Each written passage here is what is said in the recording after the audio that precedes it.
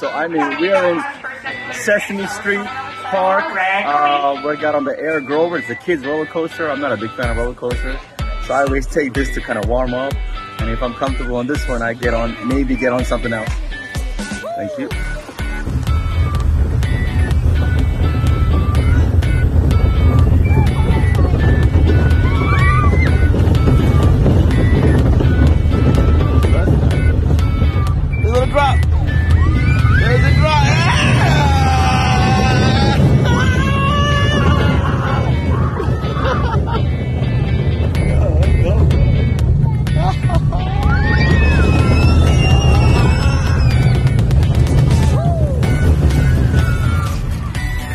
Guys, that's the Grover, that's the kids roller coaster.